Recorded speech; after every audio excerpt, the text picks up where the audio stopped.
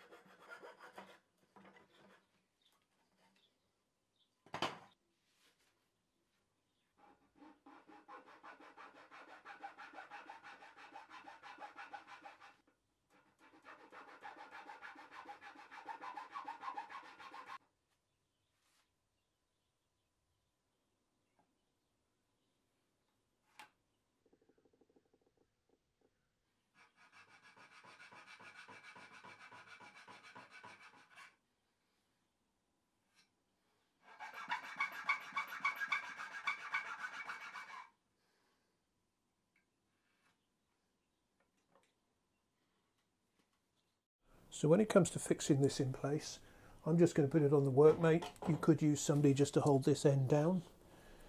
I'm going to tie it down because when you pull on the other end, there is a tendency for it to fly up in the air. This is just a couple of old bootlaces.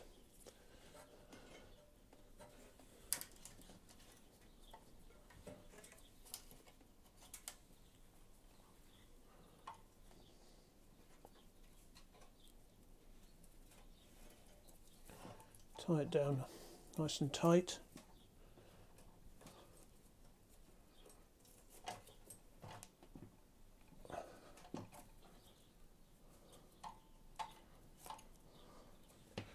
And then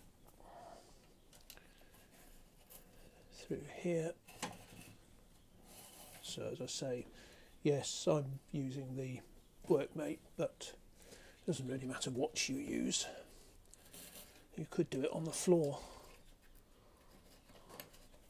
Just get somebody to help you hold it down.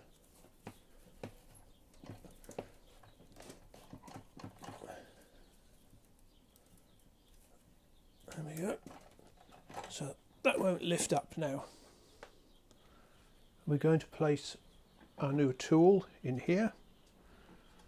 That's why we made the groove in it fit into this particular piece here. And uh, I've just put that block there just because it'll just keep falling through otherwise.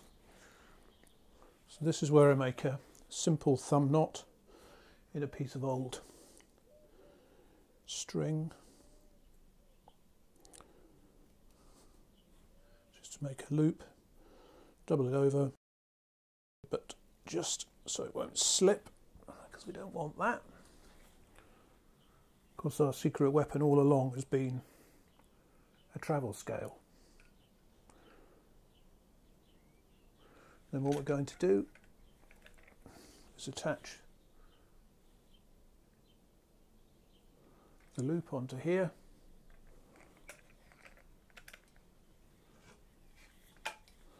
Put our piece of wood in there.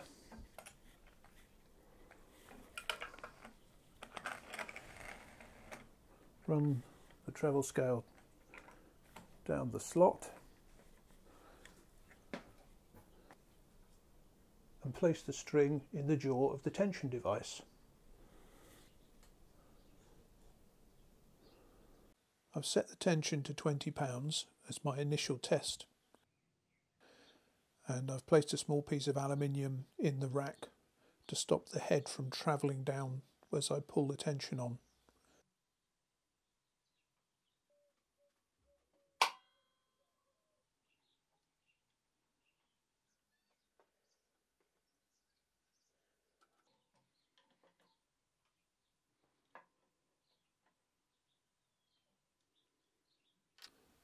My next test tension is going to be 26 pounds, so I'll adjust it to that.